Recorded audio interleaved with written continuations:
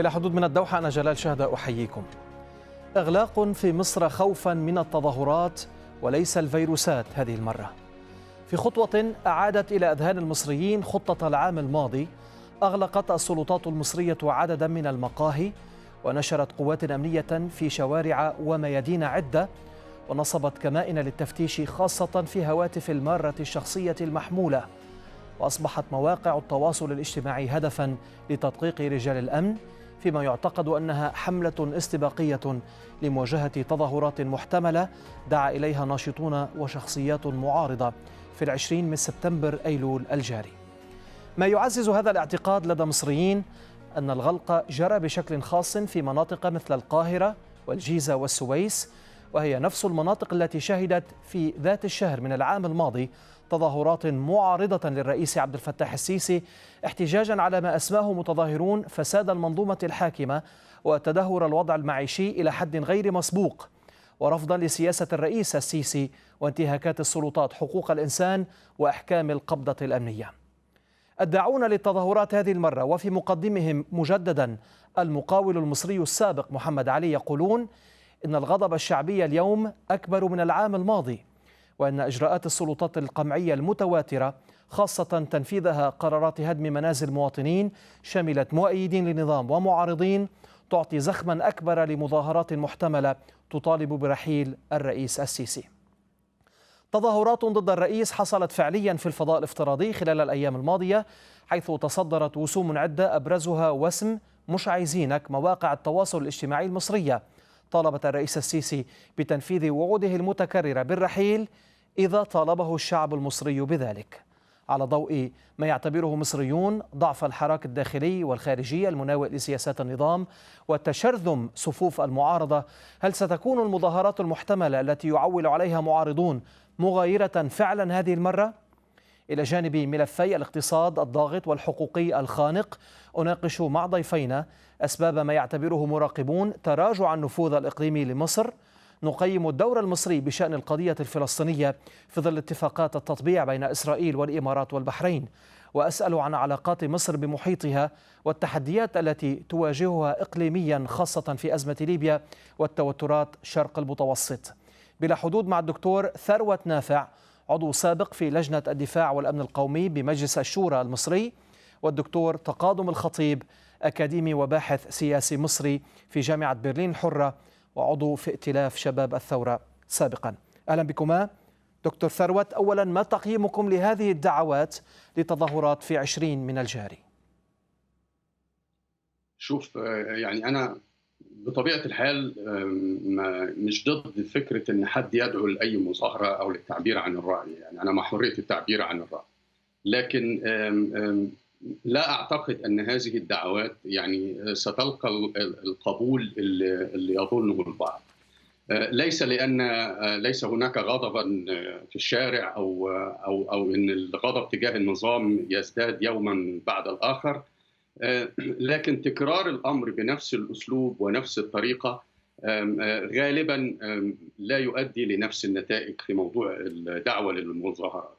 المظاهرات في 20 سبتمبر السابق كانت عفوية جدا نتيجة إن من وجهة نظري الخاصة إن الأخ المقاول محمد علي كان معبرا بطريقة عفوية جدا عما يعني يقول بخاطر المصري أو المواطن الطبيعي وليس السياسي أو النخبة. فكان بيتكلم بلغة بسيطة جدا وكان بيتكلم بعفوية شديدة جدا لم يكن وراءها اغراضا سياسية أو محركون سياسيون. فقامت هذه المظاهرات عفوية وهي ما أربكت النظام من وجهة نظري أكبر إرباك للنظام حدث منذ 2013 كانت 20 سبتمبر الماضي. أما فيما بعد ذلك وده كان يعني للأسف يؤخذ على النخبة السياسية أو من حاولوا أن يتصدروا المشهد ويدفعوا بمحمد علي إلى اتجاه سياسي فشل معهم طوال الستة سبع سنوات منذ الانقلاب حاولوا أن يجعلوه يسير في نفس المسار وبنفس الأدوات وبنفس طريقة التفكير الذي فشلوا فيها جميعا سواء كانوا اشخاصا أو جماعات أو منظومات متكاملة. فأدوا إلى فشل هذا الحراك الشعبي العفوي وإلى فشل هذه الفكرة التي جاءت في 20 سبتمبر الماضي. هل هل سبتمبر القادم يمثل ذكرى للناس تنزل فيها في الشارع؟ المسألة لم تعد ذكرى يوم. المسألة مسألة أن هناك غضب ولكن المحرك لهذا الغضب لن يكون من خلال دعوة عامة أو مسبوقة بتاريخ. أعتقد أنها ستكون لحظة انفجار غير معلومة قد تأتي من أتفه الأسباب أو أقل الأسباب أو من سبب لا نستطيع أن يعني نتصوره. كما حدث في 20 سبتمبر الماضي لم يكن أحد يتخيل أن يخرج من باطن النظام من يدعو إلى فكرة أن هذا النظام فاسد بأدواته وأنه فاسد بما يحركون بمن يحركونه وبهذه الطريقة. ولذلك أنا عند رأيي إلى الآن أن محمد علي لم يكن يحركه أحد حينما قام في 20 سبتمبر الماضي. يعني كما ظن البعض إن إحنا دائما عندنا فكرة المؤامرة وإن هناك يد خفية. لكن حرك فيما بعد من من من ناس آخرين. حرك فيما بعد أو استغل حراكه كمان من داخل النظام من داخل أدوات النظام وبدأوا ياخذوا مكاسب ضد بعضهم البعض لأن هناك يعني فصائل مختلفة داخل النظام في كيفية معالجة المعارضة ومعالجة الثورة المصرية. لكن ردا على سؤال حضرتك بوضوح شديد أتمنى ولكن لا أعتقد أتمنى أن يكون هناك حراكا في العشرين من سبتمبر أتمنى أن يكون حراكا عاما أو تغيير الوضع السياسي لكن لا أعتقد أن هذه الدعوة ستلقى هذا القبول وهذا النشاط في الشارع المصري في في 20 سبتمبر القادم. أسمع رأي تقادم الخطيب دكتور تقادم الأسباب كثيرة للتظاهر حسب ما قال الدكتور ثروت، هل المشكلة في الدعوة لهذه التظاهرات؟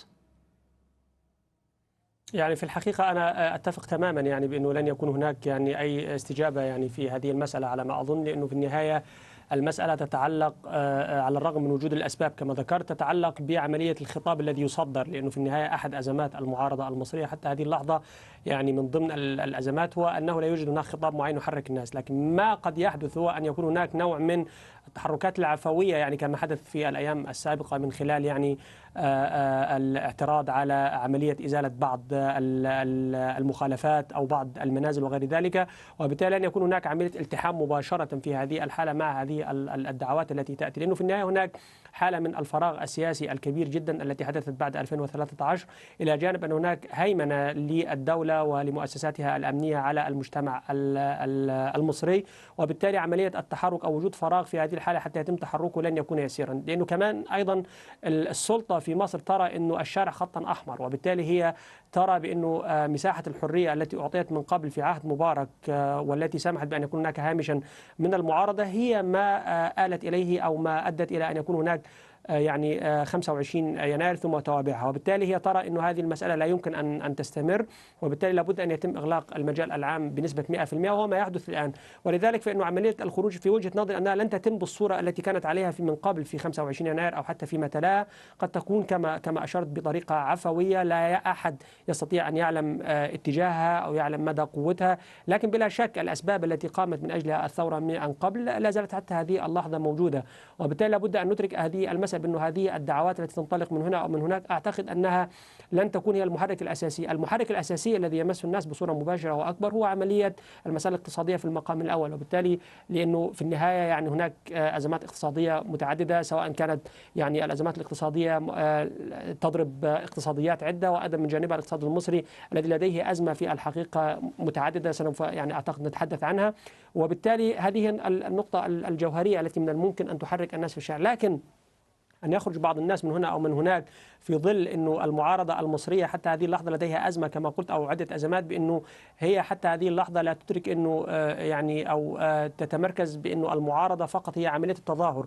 وأنا أظن أنه هذه المسألة هي مسألة تاريخية داخل السياسة المصرية ممتدة منذ ثورة 1919 بأنه المسألة السياسية هي عملية تظاهر فقط بينما المسألة السياسية هي أكبر من ذلك. ولذلك يعني كما أشرت وقلت بأنه أظن أنه لن يكون هناك أي نوع من الخروج تجاه هذه الدعوة أو لن يكون هناك نوع من القبول وأنه المسائل سوف تكون بمسائل عفوية. لا أحد يستطيع بأن يتنبأ بها لا أحد يستطيع أين هي ستتحرك أو كيف حجمها وغير ذلك من هذه الأمور.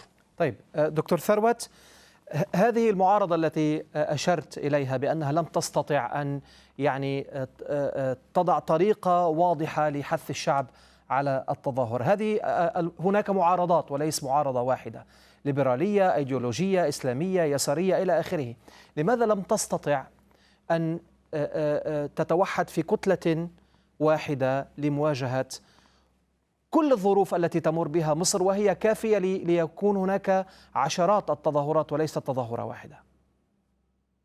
it's 1 million dollar question يعني ده شيء إحنا بن... بنتكلم فيه من يمكن 2013 uh, لكن أقدر أقول لك تجربتي الشخصية من ورؤيتي الشخصية من خلال uh, إن أنا كنت من ال... يعني من الأوائل اللي حاولوا إن هم يجمعوا فكرة uh, المعارضة في. في في في صورة 25 يناير اللي هي باقطاب مختلفة وعلى مبادئ عامة بعيدا عن الأيديولوجيات وال details أو التفاصيل اللي يكمن فيها الشيطان لكن اكتشفت وبرضه عن تجربة خاصة عشان ما حدش يقول إن أنا بعمل يعني broad brush على على الموضوع.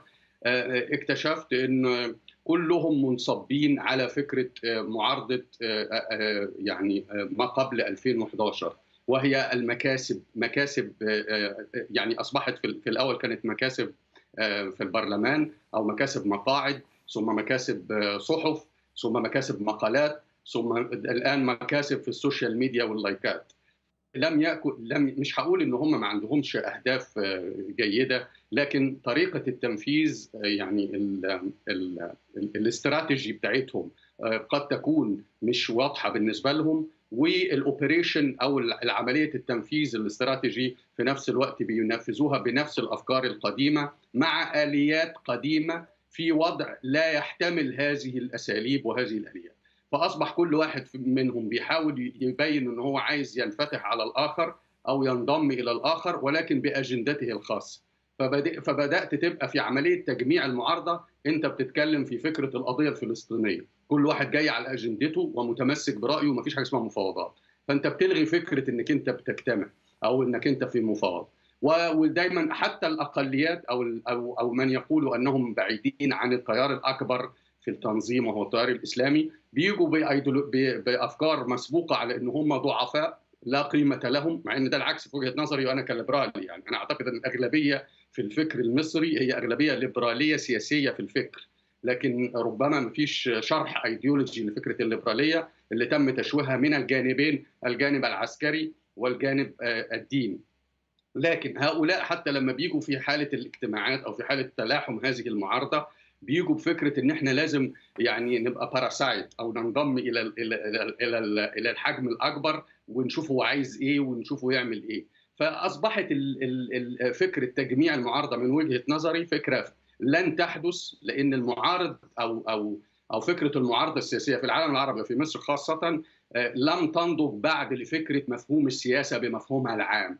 أنا إيه استراتيجيتي أنا عايز إيه وإيه الفرق بين تنفيذ السياسة في وضع ثوري أو في وضع أنا عايز أعمل فيه تغيير للفكره السياسية والحياة السياسية بأكملها وفي فكر إن أنا بشتغل سياسة في وضع مستقر سياسيا ولو بنسب ضئيلة وبشتغل على فكرة المكاسب السياسية الضئيلة اللي أنا يعني بحصل عليها في هذا المناخ السياسي. فده سبب من وجهة نظري فشل وسيستمر هذا الفشل لأن هناك تمسك بأن هؤلاء يفكرون بنفس تفكير من يناهضونه يعني هم بي بي بي بي يعيبوا على العسكر فكرة الدكتاتورية وعدم التخلي عن و و و والسيطرة وفرض الرأي وهم في أنفسهم وفي دوائرهم ينفذون نفس الأفكار والإيديولوجيات نفس الأساليب.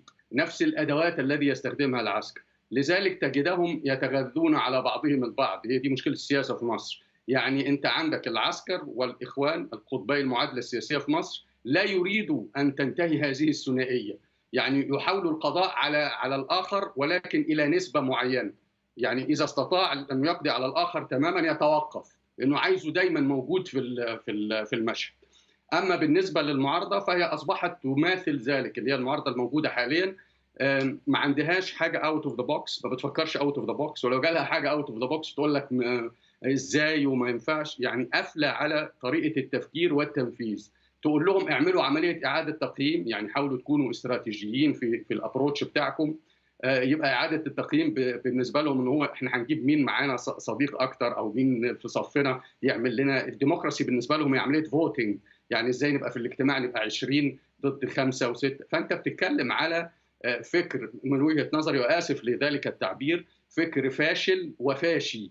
لا يستطيع أن يقيم دائرة معارضة حقيقية مع نظام هش جدا أصبح شعبيته ضئيلة جدا تستطيع أن يعني تهزه مش هقول لك تنهيه تهزه بأدوات بسيطة جدا لكن تحتاج إلى سياسيين حق أفكار حقيقية. ناس يعني تنأى عن أغراضها الشخصية ومحاولة مكاسبها الأيديولوجية بإن هي تفكر في الوطن كفكرة عامة. طيب. ثم أنا مش ضد التنافس السياسي.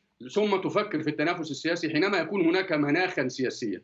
إنما أنت الآن في حالة مناخ المنافي أو سياسة المنافي كما حدث مع الزعيم سعد باشا زغلول وكما محمود البارودي فيما قبل. يعني المفروض يبقى التفكير مختلف تماما واضح. عن التعذيب الذي يعني تتمتع به ما تسمى بمعارضة النظام حاليا دكتور تقادم يقول الدكتور ثروت بأن النظام هش ولكن هذا النظام فرض على الأرض سلطة وقبضة أمنية خانقة المعتقلين بمئات الألاف حتى يعني يتم التعرض لأقرباء من هم في المعارضة في الخارج في حال صدر عنهم أي شيء. إلى جانب ما قاله الدكتور ثروت، ألا يتحمل أيضا نظام الرئيس عبد الفتاح السيسي مسؤولية كل ما يجري من عدم صدور أي صوت أو أي فكرة معارضة لأي شيء كان في في في مصر حتى في قضية تيران وصنافير على سبيل المثال، وهي ليست قضية معيشية. يعني في النهاية النظام في مصر يعني هو ينطلق من فكرة مقدسة في الحقيقة بأنه السيادة والسلطة للدولة وليست للشعب. وبالتالي هنا يتم اختزال كل الأمور المتعلقة بعملية تسيير حياة الناس وغير ذلك في الدولة والدولة في منظوره الأجهزة البيروقراطية والخدمية وغير ذلك وتأتي على رأسها الأجهزة الأمنية المختلفة. وبالتالي هذا هو الفكر المسيطر والمهيمن فيما يتعلق بهذه المسألة. وحتى إنه النظام إذا ما قام بعملية إغلاق المجال العام وهي مسألة منطقية في الأنظمة يعني السلطوية لكن أيضا المعارضة تتحمل جنبا كثيرا. بمعنى إنه المعارضة أزماتها في الحقيقة أعمق بكثير وأنا أستطيع أن أقول لك يعني باختصار شديد في هذه النقطة يعني إنه حينما قامت يعني الانتفاضة الثورية في 25 يناير وما تلاها بعد ذلك لم يكن هناك أي مشروع حقيقي لدى المعارضة المصرية. يعني المشروع الوحيد الذي كان متواجد هو كان في الجمعية الوطنية للتغيير وأنا حينها كنت مسؤول الملف الاتصال السياسي في الجمعية الوطنية للتغيير ولم أكن في ائتلاف شباب الثورة. وبالتالي بعد عملية يعني المطالب السبع حينما سقط مبارك لم يكن هناك أي نوع من المشروع السياسي. بالتالي غياب المشروع السياسي أدى إلى أن يكون هناك عملية التفاف حول الأيديولوجيا بمعنى إنه الإسلامي رأى أن الحل الأساسي في عملية في أيديولوجيته الإسلامية اليساري رأى في هذه المسألة الليبرالي رأى في أيضا أيديولوجيته وبالتالي لم يكن هناك مشروعا حقيقيا يشعر الجميع بالمساهمة. وأيضا تكون ركائزه الأساسية الحرية والديمقراطية وعملية استقلال القرار الوطني. يعني هذه المسألة أصبحت غائبة تماما عن المعارضه المصري هذه نقطه النقطة الأخرى أيضا تتعلق بأنه المعارضة المصرية في الأساس ليس لديها في الحقيقة خبرة تنظيمية خارج إطار الدولة المصرية، بمعنى ال- الذين لديهم فقط الخبرة الحقيقية في عملية تنظيم بناء تنظيم خارج جهاز الدولة المصرية الإخوان المسلمون الكنيسة القبطية وأيضا النادي الأهلي فيما كان من قبل يعني في بداياته. وبالتالي ليس لدى هذه المعارضة أي نوع من عملية الخبرة فيما يتعلق بهذه النقطة. يزيد هذا الأمر أنها الآن في المنفى أصبحت متشتتة في المنفى ولديها أزمات في وجهة نظري هي أزمات خمس. تتعلق بأزمة التنظيم تتعلق بأزمة التمويل تتعلق بأزمة المشروع السياسي وتتعلق بأزمة الخطاب السياسي وأيضا القيادة التي تستطيع أن تفرزها وأن تستطيع أن تتحدث من خلالها. كل هذا المشهد بهذه التركيبة في هذا التشرذم المختلف وبهذه الأيديولوجيات والاستقطاب السياسي الحاد الذي تأسس بعد يعني 2011 خاصة مع الاستفتاء الذي حدث في مارس حول التعديلات الدستورية. أولا أم الانتخابات؟ أولا عمق من هذا الاستقطاب وهذا الاستقطاب بالمناسبة ما تم استثماره فيما بعد حتى تم الإطاحة بالإخوان المسلمين من السلطة. وأصبح هذا الاستقطاب هو يعني كما يقولون الكبري الذي من خلاله عادت الدولة القديمة ببنيتها المختلفة بتحالفاتها المختلفة سواء كانت مع شبكة رجال الأعمال والمصالح المختلفة عادت إلى السلطة مرة أخرى لأنها استثمرت في الحقيقة في هذا الاستقطاب السياسي. وهذا الاستقطاب السياسي حتى هذه اللحظة لا زال مستمرا والجميع متمترسا حوله. وأنا أظن أيضا أنه الخروج من هذه المسألة قد يكون فقط بالتركيز على مشروع سياسي يسهم الجميع كما قلت يشعر الجميع بالمساهمة فيه ويكون عمدي الحقيقين هو العملية الحرية والديمقراطية والبعد تماما عن أن يكون هناك هوية للدولة المصرية بمعنى أنها لا تنتمي إلى أي تيار سواء كان دولة عسكرية أو دولة دينية إنما هي دولة في الحقيقة يعني دولة مدنية. يعني هذه هي الأسس الأساسية التي يجب أن تتم لكن عملية الاستقطاب في الحقيقة وتصاعد المظلوميات المختلفة أدت إلى هذه المسألة إلى جانب إنه كما قلت إنه المعارضة المتواجدة في المنافي بأزماتها التاريخية لأنها تشتر الأسئلة القديمة التي كانت موجودة لا تستطيع أن تفعل هذه المسألة. وهناك نقطة أريد ان ان أوجهها أيضا. فضل. المعارضة المصرية في الحقيقة لديها خبرة أيضا في عملية المنفى. يعني نحن في ثورة 19 كان هناك عدد من المعارضين المصريين المتواجدين في الخارج. مثلا هنا كان في برلين محمد فريد وعدد من أعضاء يعني الحزب الوطني الذي أسسه مصطفى كامل. كانت الصراعات بينهم أيضا صراعات يعني كبيرة جدا مثل الصراعات الموجودة الآن ما بين أفراد المعارضة الحاليين. وبالتالي نفس الأسئلة التي كانت موجودة في هذه الفترة هي نفس الأسئلة المتواجدة الآن. نفس الأدوات التي استخدمتها المعارضة منذ مائة عام هي نفس الأدوات التي تستخدمها المعارضة الآن. ليس هناك من جديد. وهذا أيضا هو المجتمع المصري لأنه في النهاية الأسئلة التي طرحها المجتمع المصري في أثناء الثورة الانتفاضة الثورية في 2011 هي نفس الأسئلة التي سألها المجتمع المصري أثناء ثورة 19 بالتالي نحن نعيش حقبة 100 عام دون أن يكون هناك نظرة وقراءة حقيقية للتاريخ المصري دون أن يكون هناك عملية تجديد حقيقية أو أن يكون هناك اندماج في الواقع ومحاولة توليد والخروج من الأساطير أو الخروج من السرديات التاريخية القديمة، نحن نعاني أو في الحقيقة يعني المعارضة تعاني. أيضا النظام يعاني لأنه في النهاية النظام هو نظام لا يقبل بأن يكون هناك أي نوع من الممارسات السياسية، لأنه في النهاية لا يؤمن بالمسألة السياسية، يعني نحن نرى حتى هذه اللحظة إنه رئيس الدولة مثلا هو لا ينتمي إلى أي حزب سياسي وعدم انتمائه إلى أي حزب سياسي هذا له علاقة فيما يتعلق ببنية النظام الحالي، لأنه ليس هناك ايمان بالعملية السياسية في المقام الأول، طيب. أيضا آه، ما درج عليه الرؤساء السابقين السابقين إنه الحزب السياسي دائما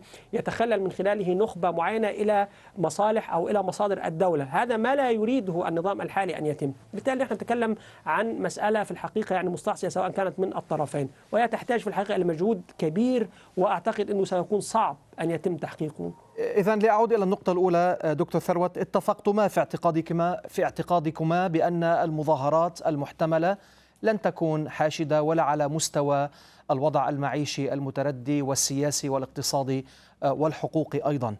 آه، على قلتها لو فرضنا جدلا بأنها ستكون كذلك، ما مدى تأثيرها على صورة النظام على مخططات الرئيس السيسي في مصر لا تقول له لا؟ ما مدى تأثيرها إذا تمت تقصد حضرتك؟ آه في في الشكل يعني حتى وإن كانت قليلة وليست على على مستوى المسببات ما تأثيرها على على صورة النظام والرئيس عبد الفتاح السيسي؟ أعتقد فكرة صورة النظام لم تعد آه، تعنيه كثيرا. يعني صورته وصلت لمراحل خلاص هو فقط حتى يعني لا ولكنها تعنيه تعنيه كثيرا. يعني تعني الرئيس السيسي كثيرا ومريدي الرئيس السيسي يحاولون دائما إظهار مصر وكأنها جنة على الأرض. لا دي في فكرة البروباغندا يعني فكرة آه، آه، آه، آلية الإعلام اللي بيستخدموها في إن هم بيحاولوا يصوروا للناس شيء الناس عايشة عكسه. وده تم حتى قبل ثورة 25 يناير ولم يفلح رغم إن كانت الحالة أفضل كثيرا يعني. يعني فكرة إن هو عمال يوجد نظام إعلامي يهيئ أو أو يقول للناس حاجات هم لا لا يلمسوها على أرض الواقع ويختصر كل الإنجازات في فكرة إن هو عمل كوبري أو عمل شارع وهو وأصبح يعني آه، مفردة أو مفهوم كلمة إنجاز آه، يعني أضحوكة بالنسبة للعالم لأن ليس هذا انجازا. يعني إذا إذا حاولت تقارن بفكرة الإنجازات قارن بقى بفكرة إنشاء الدولة في عهد محمد علي يعني إيه فكرة عمل الشوارع وعمل آه، يعني شيء من scratch من الزيرو وفكرة القناطر وما إلى ذلك. لكن مش هخش في التفاصيل تأثيرها على الشكل العام كان بيعنيه في الأول أكتر من دلوقتي. آه، دلوقتي هو عارف كويس قوي إن الشعبية هم عندهم أدوات للقياس يعني. هو عارف إن الشعبية قلت عارف إن آه، مؤيدوه كشفوا جانب كبير من بعضهم كان صادق جدا في تأييده يعني. مش عايز أقول إن كل الناس كانت أصحاب مصلحة خاصة أو شخصية. حتى من أيدوه من هذا الجانب أصبحوا يروا الصورة بشكلها الأوضح فالتاثير مش هو وبدليل هو بقى ياخد قرارات ضد الشعبية وضد فكرة الشعبية. هو بيعتقد إن تأثير الشكل مش مهم قوي هو يصدر اللي هو عايزه من خلال الإعلام وهو عنده يعني أدواته في القمع اللي هي يعني تكتفي بفكرة إن لو الشعب مش راضي مش مهم. أنا بعمل القرار اللي هو هيمكنني أكتر من السلطة وهيدي للناس المستفيدين حواليا مساحات أوسع بحيث إن هم يبقوا مستفيدين أكتر يعني يتمركز في قوته أكتر. فأنا لا أعتقد إن المظاهرات لو تمت بصورة يعني زي ما حضرتك بتقول مش كبيرة قوي أو زي كما نتوقع وإن كنا نأمل العكس يعني لا أعتقد إن هيكون ليها أكثر من يومين ثلاثة وهيطلع الإعلام المضاد البروباغندا يقلل منها ويقول دي, دي دليل آخر على شعبية للنظام الحالي أه. للأسف كما حدث من أه. لكن فكرة إن يبقى في هناك مظاهرات حقيقية عشوائية كما تمت وتطلع في 20 سبتمبر ويتحرك الشارع بعفوية زي ما حصل مثلا في تيران وصنافير رغم إن الكميات ما كانتش كبيرة لكن كان في عفوية وكان في إيمان بالفكرة قوي جدا ده اللي يهزه جدا أمام المجتمع الدولي وده اللي بيخوفه جدا لأنه هو بيلعب بصورة أو بورقة يا إما أنا أو نظام سياسي إسلامي سيدمر المنطقة وسيدمر المصالح الغربية فلما بيبتدي يظهر ال ال إن ناس متحمسة ليس دفاعا عن نظام آخر ولكن دفاعا عن قضية قومية أو دفاعا عن حريات حقيقية هذا ما يرعب النظام طيب. وهذا ما ممكن أن يحقق فكرة مختلفة تماما. لأختم ملف التظاهر دكتور ثروت. واضح. دكتور تقادم يعني على سبيل المثال فقط اليوم الرئيس السيسي تحدث وقال وأشار إلى التوتر الذي حصل على خلفية هدم منازل المصريين. قال حرفيا بأن هناك مشككين في كل إجراء نقوم به وقال إنه ليس الهدف هو الهدم وان وإنما الهدف هو الإصلاح. إلقاء اللوم دائما على على جهة واتهامها بانها مشككه مشككة ومرتهنة للخارج إلى آخره على حساب شريحة واسعة من الناس تعاني في مصر، ما دلالته بالنسبة للسلطة المصرية برأيك؟ يعني هذه المسألة مسألة درج عليها النظام في الحقيقة منذ اللحظة الأولى لأنه في النهاية منذ يعني انطلاق كما قلت انتفاضة الثورية في 25 يناير كان هناك نوع من يعني تزييف الصورة وهناك نوع من خلق كما يقولون يعني ميدانين متصارعين في مصر. يعني كان في البداية ميدان التحرير كان في مقابله ميدان مصطفى محمود. ثم بعد ذلك مع الوقت تحول ميدان التحرير ومقابله ميدان العباسية. وبالتالي دائما ما كان يكون هو اللعب على المسألة الإعلامية لأنه في النهاية النظام يدرك تماما أهمية ال social media في مصر ويدرك تماما أنها كانت أحد الأسباب التي حركت الشارع في مصر وبالتالي ساهم أو حاول منذ اللحظة الأولى أن يقوم بعملية تأميم للسوشيال ميديا وعدم انطلاق أي شيء من خلالها يحرك الشارع في أي صورة من الصور. ودائما هو ما يحاول أيضا النظام في المجمل متشكك دائما في أي نقد لأنه في النهاية لا يقبل أي نقد. لأنه كما قلت لك في المداخلة الأولى أنه الهامش الذي كان مسموحا به أيام مبارك فيما يكون هناك نوع من المعارضة أو حرية الانتقاد أو غير ذلك أصبح الآن غير مسموحا به لأنه النظام يرى أنه هذه المسألة هي المسألة المتعلقة ب أو التي أدت إلى أن يكون هناك حراكا في الشارع أدى إلى ما حدث في يناير. وبالتالي هو لا يريد أن يحدث هذه المسألة مرة أخرى وبالتالي قام بإغلاق المجال العام. هذه هي النقطة الأساسية التي يتحرك منها. ولذلك نحن نرى هناك قوانين كثيرة جدا يعني يتم إصدارها متعلقة بعملية السيطرة على الإعلام في المقام الأول أن يكون هناك قوانين يعني تقيد حرية الإعلام والصحافة لأنه يدرك تماما أن هذه الأمور لعبت دورا مهما مقابل فيما حدث في مصر وبالتالي هو يحاول أن يقطع الطريق على هذه النقطة مرة أخرى. فيما يتعلق بعملية يعني أنه الجهات الخارجية في الحقيقة يعني نعم يعني حتى إنه ثورة يعني يناير حينما انطلقت قيل بإنه ثورة يناير يعني هي أطلقوا عليها الربيع العبري أو ثم أطلقوا عليها غير ذلك وأنها مرتهنه لجهات أجنبية. في المقابل نرى الآن هناك حالة من التطبيع الكبيرة جدا مع الدولة العبرية وهنا يعني التناقض الصارخ ما بين دولة اتهمتها أنت من قبل بأنها يعني قامت بتحريك المظاهرات في الشوارع وأنت الآن ترحب وتذهب إلى عملية التطبيع معها وهذا هو التناقض الصارخ في الحقيقة فيما يتعلق ومعناه أنه هو المحاولة الأساسية هو قطع الطريق وأيضا تشويه أي شيء يحاول أن يكون هناك أي صوتا مختلفا أو أي صوت يعبر عن رأي آخر مخالف طيب دكتور تقادم أبقى معك الأساسية. لو سمحت نريد أن أسأل نعم. لماذا برأيك بدأ النظام السوري عفوا النظام المصري بدا يعني أكثر ليونة في موضوع هدم المنازل يعني وكأنه أو فهم بأنه تراجع تراجع قليلا خطوة إلى الوراء في هذا الموضوع. لماذا برأيك؟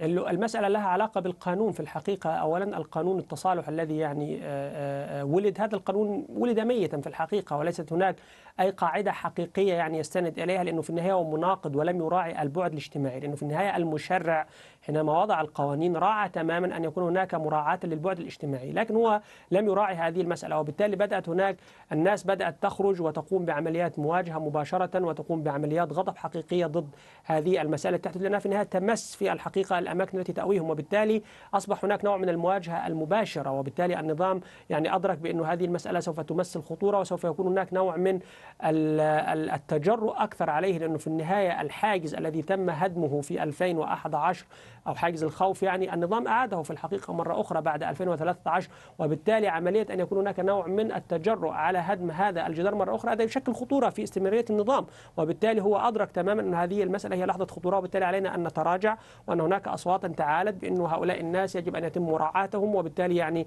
نحن نخلق كتلة من المشردين هذه الكتلة من المشردين سوف تمثل في الحقيقة خطرا على النظام السياسي وعلى عملية الاستقرار التي يريد أن يعني يروج لها النظام بالتالي هو أدرك تماما أنه لا يمكن أن يستمر في هذه المسألة. لذلك طيب. أوقف هذه المسألة أو حاول أن يقدم نوع من التراجع حول هذا الأمر. دكتور ثروت أفتح ملف حقوق الإنسان. من الواضح أن المجتمع الدولي يتغاضى كثيرا عن ملف حقوق الإنسان في مصر لمآرب ربما سياسية أو اقتصادية.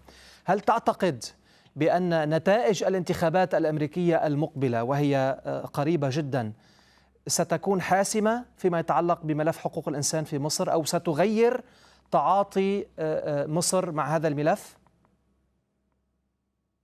شوف ستكون حاسمة لا يعني ستغير تغيير نسبي لكن مش مش تغيير كبير يعني إذا جاء الديمقراطيون وهو ما لا أعتقده أتمناه ولا أعتقده برضه يعني أعتقد استمرار ترامب في السلطة لكن إذا حدث وكل شيء جائز خاصة في الانتخابات الأمريكية سيتم التعامل بصورة زي ما تعامل مبارك مع الإدارات المختلفة. لأن أنت في الآخر بتتكلم برضو على دولة يعني ليها ليها تاريخ في التعامل مع الإدارات الأمريكية المختلفة الديمقراطية والريبابليكان. وهي كانت حوالين نفس الفكرة التهديد بملف حقوق الإنسان والتلاعب بهذا الملف في بعض الأحيان من أجل مكاسب خاصة للأمريكان.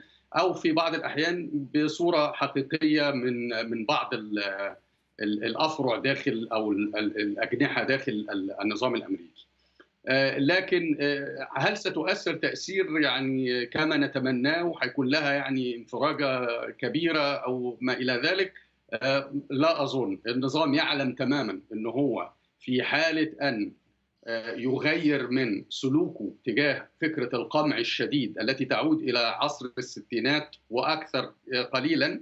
إذا غير هذا الاتجاه هناك حالة انفجار قادمة لا محالة. هو بيحاول إن هو يا إما يعيش في دينايل منها أو أو يؤجلها إلى أجل غير معلوم. لكن الانفجار قادم قادم. فهو بيعتقد وتأكد خاصة بعد 25 يناير أن وسيلته الوحيدة هو عدم المصالحة فكرة القبضة الأمنية الشديدة فكرة التجبر وإظهار هذه القبضة يعني ليست في الخفاء بل بالعكس أحيانا ال exaggeration أو تكبيرها في حد في في صور الإعلام من عنده أو في صور العادية اللي بيصدرها للشارع عشان هو بيعتبرها هي دي اكشن أو فكرة الردع لقيام أي حركة عشوائية. وده بيعود لينا للرد على السؤال السابق لما قلت هو ليه غير فكرة الإزالات. أنا من وجهة نظري هو تراجع تكتيكي من بالمفهوم العسكري.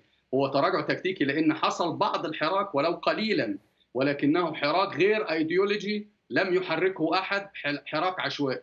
وهي النقطة التي يخشاها النظام أكثر من فكرة المعارضة والمشروع السياسي والتحريك والدعوات. هو يعلم أن الحراك إذا حدث عشوائيا هيكون كالنار في الهشيم لأن هناك حالة غضب شديدة جدا من الوضع الاقتصادي من الوضع الاجتماعي and more طبعا الوضع السياسي والحالة الخانقة وخاصة مع مع اتباع نفس الأساليب التي أدت إلى انفجار لحظة يناير في فكرة البرلمان والسيطرة على البرلمان بنفس العقلية ونفس الفكر والتعيين وفرض حزب واحد. وإن تغير المسمى وفرض ناس معينين ودفع رشاوي نفس الفكر ونفس الأدوات هتؤدي لنفس النتيجة في حالة الانفجار.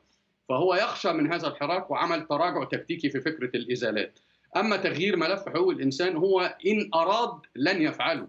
لأن هو عنده اجنحه متصارعه داخل النظام كل واحد ليه وجهه نظره الوجهه نظر جناح الصقور هي المسيطره وهي اللي خلت نظامه يستقر أكثر طوال فتره السبع سنوات بخلاف السنة اللي فاتت في 20 سبتمبر واللي كان فيها خلخله داخليه في في هذه في هذه في هذه الاجنحه وداخل النظام. فلا اعتقد ان هو سيغير ملف حقوق الانسان في القريب في في في القريب. وليه تعقيب بسيط لو عندك وقت بس فضل. على فكرة المشروع السياسي اللي طرحها ضيفك الكريم فضل. عشان أنا كنت حاضر ذلك وكنت أحد الناس اللي اجتمعوا على ذلك أه. كان في مشروع سياسي تم وضعه من من من أساتذة علوم سياسية في الداخل والخارج وينتموا إلى تيارات مختلفة. واتفق الجميع بكافة الاتجاهات على هذا المشروع السياسي. مشروع دولة في منتهى يعني القوة. عشان دايما الناس تطلع تقول إحنا ما عندناش مشروع ما عندناش فكرة. مشروع بتفاصيله بتفاصيل تكوين الدولة. وفصل الجهاز أو النظام العسكري عن المدني شيء وفصل الاقتصاد العسكري. يعني كل تفاصيل بناء دولة ديمقراطية. لأننا لا نعيد العجل. واتفقت الأطراف بأيديولوجياتها المختلفة. ولكن اجين مرة أخرى اللي أنا اللي أنا قلته في الأول فكرة المحاصصة هي ما قضت على ذلك. المشروع ما زال عندي في الدرج وما زال موجودا لمن يريد أن يطلع عليه. مشروع راقي جدا ونستطيع أن نتفق على على الشروط العامة فيها أو العريضة بعيدا عن الأيديولوجيات. واتفق الكثيرين من التيارات المتجهة عليه لكن التنفيذ أو أو أو جلوس المعارضة ورضائها بهذا المشروع الذي تبنته والذي حتى يعني كانت part of the development بتاعته رفضوا إن هم طيب. يطلعوا بصورة مختلفة نتيجة اللي أنا قلته قبل كده هم ينظرون إلى مصالح ضيقة شخصية سواء لجماعة أو لشخص أو لأفراد. دكتور تقادم هل من الممكن التعويل على تغيير ما في البيت الأبيض ليتغير هذا المشهد وملف حقوق الإنسان في مصر. يعني يكاد لا يمر أسبوع إلا ونسمع بأن سجينا معارضا مات بسبب الإهمال الطبي وإلى آخره. متى يمكن أن يتوقف هذا بتقديرك؟ أظن انه التعويل كثيرا على يعني مسألة الانتخابات الأمريكية يعني كما اشار ضيفك الكريم أعتقد أيضا يعني هي مسألة ليست جدية في الحقيقة. يعني قد يعني تمارس ال ال يعني الإدارة الأمريكية في حالة إذا ما أتى إلى السلطة يعني جون بايدن قد تمارس نوعا من الضغوط التي يعني تحاول فيها نوع من اقتناص بعض التنازلات الإفراج عن سجين من هنا سجين من هناك عددا من السجناء الأمريكيين أو حاملي مزدوجي الجنسية المصرية الأمريكية في السجون وغير ذلك. لكن تغيير المشهد كله في الحقيقة لن يكون يعني كما يتخيله البعض من الامريكان لأنه في النهاية التغيير في الحقيقة في الداخل ينبع من الداخل المصري. إذا لم يكن هناك تغييرا حقيقيا على الأرض كما حدث في يناير وخروج الناس إلى الشوارع وساهمت هذه المسألة لن يستطيع أحد أن يقوم بعملية تغيير النظام ولن يستطيع أحد أن يجبر النظام على التغيير لأنه في النهاية المعادلة في مصر تختلف عن دول أخرى فرض فيها التغيير قسريا أو جبريا كما حدث في العراق يعني في 2003 مع غزو العراق. وبالتالي هذه النقطة مختلفة. أيضا النظام في حد ذاته لن يتراجع في الحقيقة عما يقوم به لعدة أسباب. السبب الأول في وجهة نظري أنه سبب تاريخي لأنه في النهاية دولة يوليو هذه المتكونة الضباط الذين قاموا بتكوين هذه الدولة تنشئتهم الأولى تعود إلى التيارات التي كانت متواجدة في فترة مواجهة الاحتلال الإنجليزي. وبالتالي لم يكن هناك عملية اهتمام بعملية الديمقراطية وما غير ذلك. الاهتمام الأساسي كان هو عملية إزاحة الاحتلال الإنجليزي عن مصر. حينما جاءوا إلى السلطة جاءوا بهذه الفكرة بأن الديمقراطية ليست لها أي قيمة وبالتالي لا تعنينا في هذه المسألة وعلينا أن نستمر. الديمقراطية والمبادئ الليبرالية التي تتعلق بحقوق الإنسان مع هيمنة الخطاب الليبرالي في العالم من خلال الولايات المتحدة الأمريكية هو أيضا لا يعني النظام في أي شيء وبالتالي هو لن يقوم بعملية تخفيف هذه المسألة. في النهاية ليس هناك من أي مشروع لدى النظام سوى مشروع القمع. وبالتالي هذه الأدوات القمعية التي يتم استعمالها هي الأدوات التي يرى النظام من وجهة نظري أنها هي التي سوف تؤدي إلى عملية بقائه في السلطة إلى أكبر وجه. وهو يعني يرى على الأرض بأنه هذا المشروع القمعي الذي تم استخدامه منذ 2007 أو 13 حتى هذه اللحظة أتى ثمره آه، أو أتى أكله. وبالتالي يعني حدث نوع من إعادة بناء جدار الخوف مرة أخرى وأصبح هناك نوع من الخوف تجاه هذه المسألة. وبالتالي هو لن يقوم آه، بهذه النقطة. ثانيا النظام في الحقيقة يعني حينما جاء إلى آه، يعني إلى السلطة في 2013 أسس مشروعيته الأساسية على أمرين أو ثلاثة أمور أساسية. الأمر الأول يتعلق ب آه، إزاحة الإخوان المسلمين من السلطة وبالتالي القضاء عليهم وبالتالي حتى هناك يعني آه، نوع من الاتفاق الإقليمي على أن يكون هناك نوع من إزاحة الإخوان المسلمين عن السلطة في أي مكان يصلوا إليه في أي دولة عربية.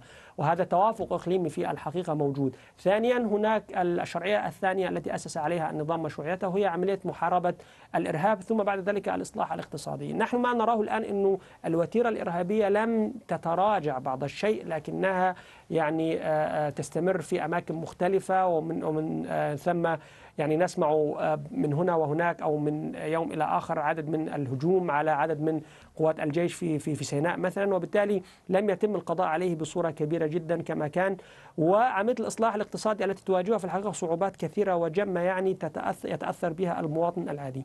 هذه الشرعية الثلاثة التي أسس النظام أساسه على الداخل في أساسها، فيما يتعلق بالشرعية الخارجية وهي شرعية مهمة بالنسبة للنظام كانت تتعلق بعملية إبرام العقود وإبرام الصفقات الأسلحة والغرب في مجمله في الحقيقة حينما يأتي الخطاب يتعلق بعملية حقوق الإنسان والمصالح الاقتصادية تتوارى المصالح أو يتوارى خطاب حقوق الإنسان وتتقدم المصالح الاقتصادية في المقام الأول هي عملية طيب. ازدواجية في الحقيقة موجودة لدى الأنظمة الغربية أه. وبالتالي يعني ليست هناك يعني ما يستطيع أن يضغط وأن يقال بأنه لابد أن يتم وقف الانتهاكات لأنه في النهاية الشارع كما ترى هو مستقر أو أنه ليست هناك نوع من الجماهير التي توجد في الشارع التي تستطيع أن تغير المعادلة. بما أنك تحدثت عن الاقتصاد دكتور وهو آه، يعني مهم ولكن نمر عليه سريعا. دكتور ثروت آه، الأرقام تشير إلى أن هناك تزايد غير مسبوق بالديون المصرية. فضلا عن الأزمة الاقتصادية الداخلية ولكن الديون المصرية تزايدت بشكل غير مسبوق. ما تأثير هذا على على مصر في المستقبل برأيك؟ شوف عشان نكون موضوعيين دائما يعني الديون ليست المعبر الرئيسي عن فكرة إذا كان الاقتصاد سيء أو أو جيد. يعني أه. أحيانا بيكون معبر عن طفرة بتحدث في في, في الاقتصاد فبيتم فيها فترة من الديون. لكن مش دي الحالة اللي في مصر يعني. بس أنا عايز أكون يعني موضوعي في التحليل. الديون بتتراكم لأنك أنت ما زلت بتدير الدولة بعقلية انقلاب 52 منذ انقلاب 52 وهي إن مش مهم المهم اللي هي اللقطة اللي إحنا اكتشفناها بعد كده في في بعض التسريبات. المهم اللقطة المهم أنا يبقى اسمي عملت مشروع. ما حاولوش يبنوا قاعدة اقتصادية سليمة. وحتى حينما تم بعض الأفكار الاقتصادية السليمة نتيجة الكوربشن بيتم هدم أي أي أي تطور اقتصادي ممكن يعمل فرق في الحياة الاقتصادية المصرية أو في الحالة المصرية. وده هيستمر طالما أن هناك فصل بين فكرة الاقتصاد والسياسة. لا اقتصاد بدون سياسة، ولا سياسة بدون حرية، ولا حرية بدون ديمقراطية.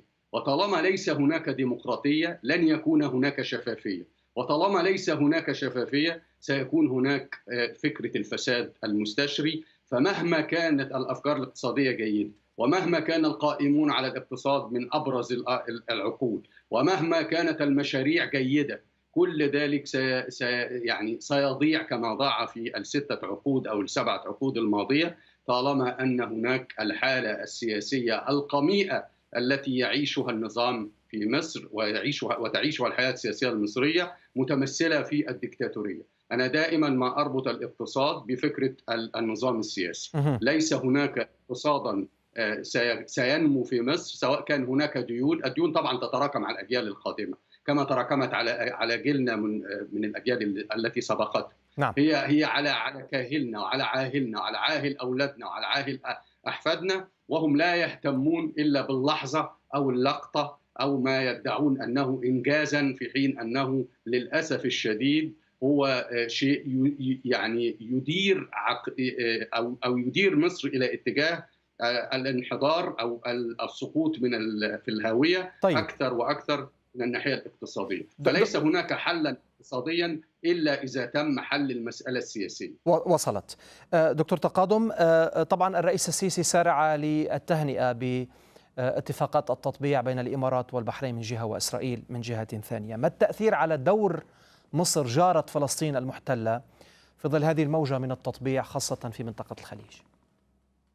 هو الدور في الحقيقة لن يكون فقط فيما يتعلق بالقضية الفلسطينية لأنه في النهاية الأنظمة العربية الآن يعني سواء كانت من خلال المؤتمرات أو الاتفاقيات المختلفة التي عقدت بداية من كامب ديفيد يعني مرورا بأسلو حتى وصولا إلى هذه الاتفاقات التي تحدث الآن لن فقط يعني يؤثر على موقف مصر من القضية الفلسطينية إنما يوق... إنما سوف يؤثر على موقع مصر الإقليمي في الحقيقة لأنه في النهاية الأزمة الحقيقية أنه هذا التحالف الذي يحدث الآن في المنطقة ما بين يعني أو ما يسمى يعني ما بين الإمارات والبحرين وكذلك المملكة العربية السعودية ومصر أيضا في جانب منه. وهذا التحالف الذي سوف يضم إليه إسرائيل في مقابلة التحالف الإماراتي الإيراني التركي في المنطقة. في الحقيقة هذا التحالف كان له إرهاصات من قبل إنه في النهاية هناك عدد من التقارير التي كتبت من قبل عدد من السفارات في الثمانينات يعني إنه مبارك تقول بأنه مبارك كان يخشى أن يكون هناك تحالفا خليجيا يذهب إلى يتفاوض مع إسرائيل.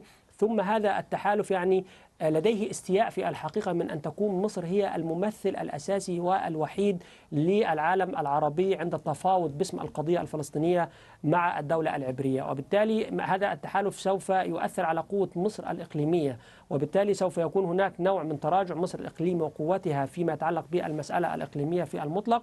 وهذا التحالف سوف يحاول بكل يعني ما يملك من قوة الآن أن يأخذ أو أن يملأ الفراغ الذي تولد عن ضعف مصر وتراجع مكانتها الإقليمية، لأنه في النهاية مصر حينما تكون دولة قوية وحينما يكون دورها الإقليمي هي قادرة في الحقيقة على إيقاف الغزو الأجنبي، هي قادرة على ان تتفاوض باسم العرب، على قادرة على أن تفرض العديد من القرارات المختلفة، لكن ما يحدث الآن هو عملية تراجع، هذا التحالف يراد به كما قلت أن تملأ الإمارات مثلا في المقام الأول. الفراغ الذي تولد عن تراجع مكانة مصر الإقليمية وأن تصير هي الدولة الإقليمية في المنطقة التي تتحكم في المنطقة بالتحالف مع الدولة العبرية. وبالتالي يعني كما قلت بأنه لن يؤثر فقط على المسألة الدولة الفلسطينية أو على القضية الفلسطينية سوف يؤثر في المقام الأول على دور مصر الإقليمي الذي تراجع كثيرا كثيرا كثيرا. وهو يعني تراجع دور مصر لا ينبئ بخير في الحقيقة بأي حال من الأحوال أنه في النهاية يؤثر على المنطقة بالمجمل وأيضا ينبئ ويقال يعني يدل على أن هناك لم يعد هناك ما يسمى بالنظام العربي. النظام العربي يعني انتهى تماما والقضية الفلسطينية تحولت كما كانت من قبل لكن طيب. أصبحت بصورة صارخة. هي عبارة عن رقم في جيوب الأنظمة العربية. دكتور ثروت ربما لا يعجبه هذا الكلام بأن دور مصر تراجعت دور مصر السيسي تراجعت ربما يتفق مع هذا الكلام. دكتور ثروت سريعا ما الذي يسمح لمصر السيسي أو من غير السيسي بأن تسترد هذا الدور الإقليمي المفقود حاليا؟ باقتضاب لو سمحت. باقتضاب حنعود لنفس الفكرة حضرتك اللي أنا بتبناها منذ سنوات يعني. لن يكون لمصر دور قوي إلا إذا تحررت سياسيا وأصبحت دولة ديمقراطية حرة يعبر فيها عن الآراء بحرية. ساعتها هيكون اللي بيعبر عن النظام السياسي هو الرأي العام أو الرأي الغالب من الشعب وستكون لمصر احترام في النظام السياسي الدولي الجديد الذي يحترم الدول القائمة على الحريات والقائمة والآخذة برأي شعوبها حتى وإن تعارضت مع آرائهم في في المجتمع الدولي. لكن طالما أنت دولة تحكم بالحديد والنار ديكتاتورية الشعوب فيها تخضع للذل والامتهان لن يكون لك أي دور إقليمي أو لن يكون لك أي دور طب عفوا دكتور كانت مصر هكذا في في في عهد مبارك ولكن كان لها كلمة ونفوذ. لم يكن بهذا القدر نتفق ولكن كان لها نفوذ. لا الحقيقة لم يكن لها نفوذ كانت توضع في الصورة فقط وكان وكان نفوذها برضه محدود. وده نتيجة إن برضه مبارك كان مدي سياحة مساحة سياسية أكبر مما يحدث الآن وأكبر مما كانت في الستينات القائمة على الشعارات، فانت ممكن تعمل شعارات فتوجد لنفسك وضع مخيف للمجتمع الدولي لكنه غير مؤثر. واضح. لأن أنت هتضرب المجتمع الدولي كله بقنبلة وما إلى ذلك. بس أنت غير مؤثر. أنت بس بتخوف زي البلطجي اللي واقف على باب فيلا عايز يضرب الناس بالطوب لكن هو ما عندوش أي أسلحة ثانية والفيلا جواها مدافع شكرا. بتعمل ده. وممكن تعمل صورة اللي كان بيعملها مبارك إن أنا أنا بس الكبير وأنا اللي هعمل شوية مساحة وعندي شوية أحزاب وعندي ناس بتتكلم شكرا وعندي دكتور. ظاهرات بتطلع. فيبقى لي بعض التواجد في في الساحه شكرا لكما شكرا. وضحت وضحت الفكرة تماما دكتور. انتهى الوقت تماما. شكرا لكما الدكتور ثروت نافع والدكتور تقادم الخطيب المشاركة معنا في بلا حدود على الجزيرة. شكرا لكم مشاهدينا الكرام. إلى اللقاء بامن الله ورعايته.